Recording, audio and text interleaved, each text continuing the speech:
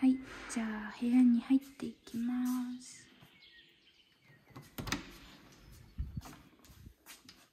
こんな感じですね。はい部屋に入ってきました。えー、っとこんな感じです。でここにまずベッドがあって今ベッドリネンちょうど洗ってるからついてないんですけど、えっと、学校から借りたベッドリネンを使ってます。で奥に保湿が置いてあります。なんかここにでも置かないと寝る前クリーム塗らないからここはセットになってます。でここに、えっと、収納が2つあってこっちはお洋服用クローゼットでこっちはなんか段に分かれてるから一番上がドライヤーとかで真ん中がメイクとかその他もろもろ。なんかケア商品で下着で最後靴ってなってます。でここも大きい収納があるんですけどなんか海外あるあるというか海外生活あるあるかもしれないんですけどよいしょ。その奥が届かないんですよ。だからあんま使ってないです。はい。で部屋に行きます。スーツケースもなんかもう開けておきっぱなしにして収納収納の1個みたいな感じにしてます。はい。でこれ机です。なんかなるべく綺麗に保つようにしてます。はい。でこっから外が見えます。こんな感じですね。でデンマークはそのペットボトル買ったやつをスーパーとかに返しに行くとなんか少ないけどお金が返ってくるからここに置いてあります。でも1回しか買ってないからちょっと早く返しに行こうと思って行けてないって感じです。でこんな感じで収ズームします。収納があってここはなんかいろいろ洗ったもの干すとことかあとこれは歯ブラシここ歯ブラシ立ててます。よこいしょ。でここにいろいろお風呂セットとか収納して。はいお部屋一周です。はいってことで今日はパあ最初にパッキングの鉄則について話していきたいと思います。えっとまあこれ私の完全主観と経験に基づいてるんですけどまず鉄則その1はスーツケースは1個できた方がいいと思います。なんか私はそもそもその格安航空取ったからスーツケース1個で来るっていう手段あの選択しかなかったんですけどなんか北欧それで良かったなって思います。でなんでかっていうとそのデンマークって結構なんか地面がなんかボコボコしてるってかなんていうんだろう石畳？だから石畳って呼ぶのかな分かんないけどその20キロ20キロ25までいけるか。だから合計40とか50キロを抱えて特にケルーとかって空港からめっちゃ遠いから学校まで多分3時間とかかな。だから本当にきついから1個で来ることその1人で運ぶのがきついから1個で来ることをおすすめします。でこ私じゃあ荷物を事前に送ったかっていうと送ってもなくて私は。なんかこっち先進国だからほとんどのものは手に入ります。だから私の個人的な考え方としては海外に荷物を送るってめちゃんこお金かかるからそのお金があるならそのお金をデンマークでのお買い物に回した方が絶対に楽しいかなって思ったので本当に本当に最低限できました。でそれでよかったなって思ってます。で鉄則その2はえー、っとうんと持ってくるものを選ぶ基準の話なんですけど小さいけど毎日使うけど23倍の値段を払いたくない。でこれはどういうことかっていうとえー、っとその物価がこっち高いんですよ。日本に比べて。なんか物によるけど大体23倍だと思います日本の。で日本人の他の子もわ物価高い物価高いってずっと言ってるんですけどみんなで。なんでその鉄則に戻って小さい毎日使うけど23倍払いたくないって例えば何が当てはまるかっていうと綿棒とか爪切りとかそうそんな感じかな。爪切りって絶対あ毎日使うとは限らないけどその絶対に使うしあとはなんだろうかさばらないけどでも爪切りに23倍こっち来て改めて払いたいかっていうと私はノーなので、えっと、持ってきました。あと綿棒とかもその結構筒とかに入ってると思うけど私はあのスタッシャーとかに移してちょっとスタッシャーそうシリコン使い捨てのシリコンのジップロックみたいなやつに移して持ってきてるからそうそうやったらかさばらないからそうやって持ってきてます。そんな感じかな。であと店あの持ってきたものをもうちょっと具体的に見せながらそこは説明していきます。ではいって感じかな。あこれちなみにスタッシャーです。動画の進み方だ進み方としてはそのカテゴリーに分けてはいじゃあ服について話します。で服の中で持ってきてよかったものいらなかったものみたいな感じであの分けていきます。ってことで服の話をしたので服からいきます。なんか服は私まず私の始まったセミスター冬からだったんですけど1月から6月なんですけどでえっとそもそも私その荷物最小限で来たんで上3着下3着にアウター1着とかほんとめっちゃ少なく切ったんですねそもそも。ででそれで良かったなって思ってて特に冬服なんですけど冬服はこっちの方が寒いからこっちのしかも寒いし雨降るんですよ。だから防水防風のあったかい上着は絶対にこっちの方が充実しててそのこっちの気候に合った服はこっちの方が絶対に充実してるからなんか日本からわざわざかさばるなんかダウンとかコートとか持ってこ持ってこなくてよかったなって思います。そうだからやっぱ少なめできて正解だったと思います。ただヒートテックとかは持ってきてよかったなって思います。で、まあ、あとは服はほんとめっちゃ人それぞれだけどなんかセカンドハンドがこっちめちゃくちゃ充実してて大きく分けて2種類あるんですけどセカンドハンドに。1つはえっと普通にあの営利目的でやってる個人のオーナーがやつででもう一つは営利目的じゃなくて利益が全てなんだろうその寄付団体っていうか何て言えばいいんだろう。営利目的じゃないセカハンが結構あってそこはその利益が何か困ってる人とかにお金が回るからそのその営利目的じゃない分値段がめっちゃ安いんですよ。で働いてる人もそのおじいちゃんおばあちゃんとかでボランティアなんですけどだからそういうとこで可愛いのが運よく見つかればめっちゃ安く買える。私この前ナイキのスポーツタイツをそこで見つけて25クローナだから2倍して50500 480とかかな。え480円とかで買えたからそう。うん。そういうとこ行けば全然安く手に服手に入るからおすすめです。なんか私そこでめっちゃ可愛い靴とか買ったりしたから。あれ下着に関してはなんかはたくさん持ってきたんですよ私。その洗濯あ洗濯にお金がかかるって分かってたし15クローナーで15クローナーって多分280とかかな今。分かんないけど。で高いから下着だけはたくさん持ってきました。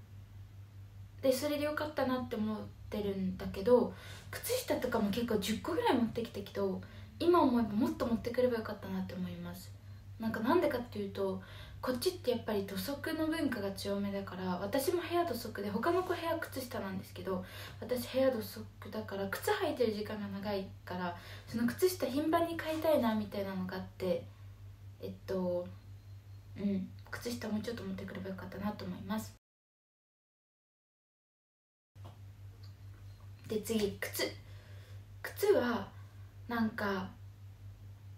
私こっち私はなるべくどこに行く時も日本にいる時からそうなんですけどそのバスとか電車とか使わずに歩きたい派だからこっち来てからめっちゃ歩いてるからナイキのエアマックスの底がもうめっちゃ薄くてツンツル天になってきたからそう靴は絶対に絶対に自分靴だけは自分の足に合う歩きやすいものを持ってくるのをおすすめします。プラス私はこっちで防水のハイキングシューズみたいな買いました。アウトドア行った時行く時のためのハイキングとかもそうだしその何回も言うけどマジで予測してないタイミングで突然雨が降ったりすることが結構あるから特に冬とかは。だからそうもう今日朝から天気怪しいなみたいな日は防水の靴で結構お出かけするのがおすすめです。でケルに関して言うならばあそうだその前に追加服に関して追加でこっちの人ってめっちゃうんこパーティー好きなんですよ。でパーティーはパーティーでも結構テーマパーティーが好きでじゃあ今回のテーマは例えばなんだろうレイブですとか今回は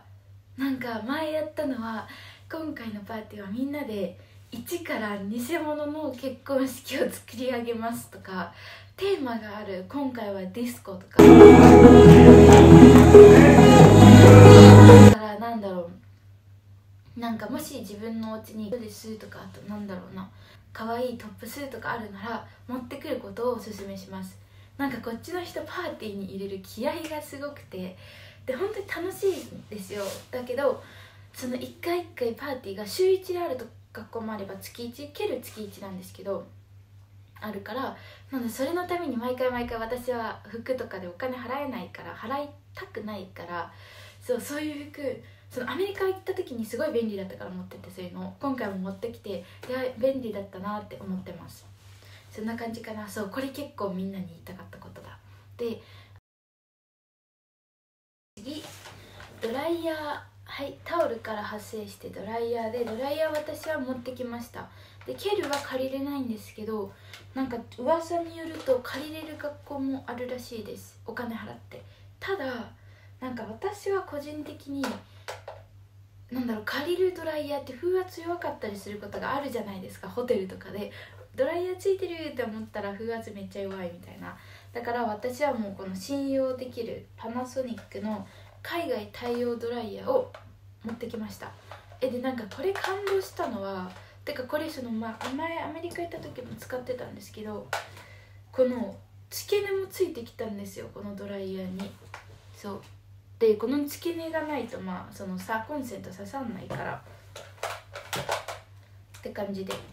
そんな感じで使ってます。でこの付け根付け根はえっと23個あった方がいいと思います。私の部屋は合計で3個充電できる場所があるんですけどなんか付け根が2個しかないから髪の毛乾かしながら携帯の充電はできるけどさらにパソコンの充電とかはできないからなんかほんと3つとか、まあ、2個持って持ってるからそこまで不自由はないけど、まあ、23個は絶対あった方がいいかなって思います。なんかタコ足持ってきたんですけど変圧器がないから多分タコ足使ったらぶっ壊れるかなと思ってタコ足結局使えてないからはい。であとコテ。うわめっちゃいっぱいついてきた。コテ。はい。まあ見えるからいいか。そうコテもこれ海外対応のクレイツのやつかな。ホリスティックキュア。あんま使ってないけどそうパーティーとかあるからそうコテ便利かなって思います。毎日は私使わない。基本ね縛りたい派だから。って感じかな。あと電化製品から発生してあとパソコンかタブレットは絶対なった方が便利だしそんな感じかな。で次はこれ。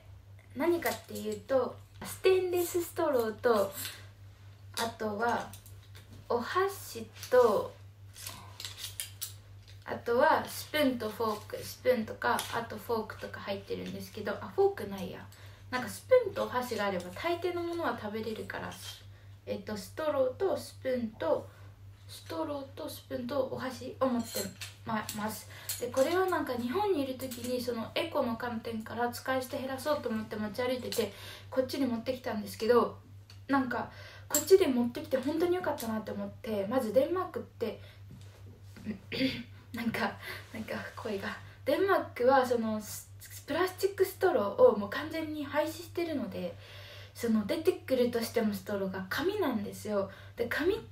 て嫌じゃないですか。なんか口の中で溶けるってか。だからそういう意味からステンレスストローあ役立つって思いました。であとお箸は、まあ、普通にこっちで売ってるっちゃ売ってるけどねそのさっきの鉄則に当てはめて使うだろうしあとはかさばらないけどお箸に23倍払いたくないっていう人は持ってくることをおすすめします。そうあとでスプーンとかお箸に関して言うなら例えばなんだろう日本って、まあ、こっちコンビニでご飯買うみたいな状況があまり生まれないんだけどスーパーで例えば旅行行って外食がびっくりするくらい高いから友達とよく旅行行った時とかもスーパーでなんだろうサラダとか買ってたんですけど日本みたいに割り箸つけますかとかフォークつけますかとかないからそうこういうの持ち歩くと本当に便利です。しかもエコだからみんなも日本にいる時からやってみてほしいです。はい次。でジオーディナリーとかもいつもルックファンタスティックから買ってたんですけどあインキーはないか。そう The Ordinary The Ordinary とかあと CeraVe とかも CeraVe とかも iHerb で発売発売販売が終わっちゃったじゃないですか。でもこ The Ordinary と CeraVe は店舗で買えますこっちは。でさっきも言ったけどあでもあ CICA とかはやっぱり全然見ないです。韓国のものだからかな。あとはそう La Roche-Posay とかも安かった。20%オフとかだったから買った。でこのニキビの薬は日本で4本ぐらい皮膚科で保証してもらって持ってきました。あでシュミテクとか。あと何かあるかな？あこれもラロッシュポゼか。であこれであこれはビーガンシャンプーでビーでこれは普通のリンスでこのバッグめっちゃ便利です。なんか私たちの学校はシャワールームが共用だから家ごとにその何て言うの？そのハウスごとに？そとりあえずシャワールームが共用だからそのいちいち自分のものをそのね持ち歩かないといけないからこういうバッグはめちゃくちゃ重宝してます。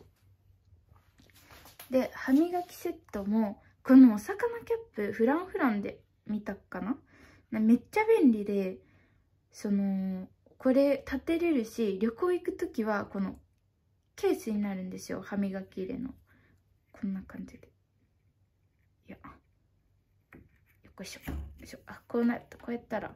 旅行に行く時も持っていける。っていうめっちゃ便利なんでまあフランフランかどっかでもしよかったら探してみてください。に関してなんですけどこういうちっちゃいのは結構私重宝してます。なんかあのこの Vlog で、えっと、洗濯の様子ちょっと載せてるんですけどその共同ラックじゃ全然足りなくてあとこれとかもこれめっちゃ重宝してます。なんかこれすごいくてちょっと。でなんだろう。この両サイドで横掛けもできる。でいっぱいつけれるしそうこうもできるから私いつもお風呂上がりバスタオルここに干してるんですけどこれめちゃんこ重宝してます。しあ次整理整理整理。で生理用品私ナプキン1枚も持ってこなくてえっとユニクロの吸水パンツを2枚だけ持ってきました。でこっち来てなんかオーガニックのナプキンあのなんだろうコスメバイキッチンとかに売ってるようなやつが普通にスーパーに売ってるからそれを買って使ったりとかあとはこっちに来て布ナプキンデビューしました。でパッケージこんな感じでここに布ナプキン入ってるんですけどもうですけどもう使い始めてるので、えっと、ナプキン本体はお店はしないしないけどこのこれめっちゃいいです。なんかすっごい吸うえ布ナプキンの方がなんなら安心感あるっていうぐらい好きだしなんだろうやっぱ触った感じもねすごいなんかふわふわってか布だからあ落ち着くかなって私は個人的に思います。ただそうであ私の布ナプキン買ったとか値段とかはあの別のビデオで紹介してるのでもし興味ある人はそっち見てください。あとはこの前アポテックってとこでじゃん20%オフだったんですよ。その月経カップが。よくしょ。だからそうこれも買ってみた。月経カップの方がもっと楽かなと思って。そんな感じです。えっと、薬がここにもう乱雑に入れてあるんですけどこれ体温計でこれせいろがんとかかな？今んとこ一回も使ってないです。で胃薬。胃薬でこれイブかな？であこれニキビの薬。でこれはピアスが荒れた時をとかかな。で漢方薬とかもこっちではないから3ヶ月分ぐらい持ってきて全部飲んじゃったんですけど。あであこれとかこれルルかな？あとアリナミンとかを持ってきました。はい。えー、っと結構喋ったのでそろそろ終わりたいと思います。ということでご視聴ありがとうございました。えっと保険とかあれさっきも言ったかな？保険とかに関してはあのこちらのビデオそのね現金とか保険とか携帯の支部とかそういうもっとね貴重品的なものはこちらで話してるのでこちらも見てください。ってことでありがとうございました。